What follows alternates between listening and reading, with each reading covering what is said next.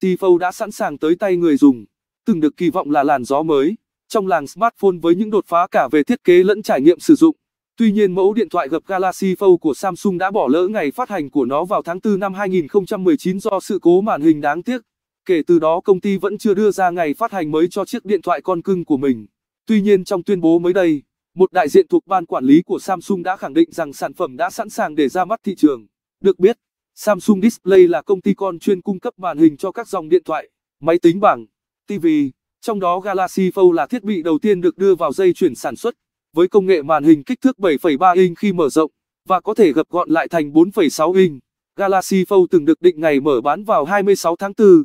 Tuy nhiên một số sản phẩm mẫu sau khi được gửi tới tay các nhà báo reviewer để dùng thử đã gặp lỗi màn hình chớp nháy liên tục, hoặc bị mất chức năng khi gỡ lớp phim phủ trên màn hình.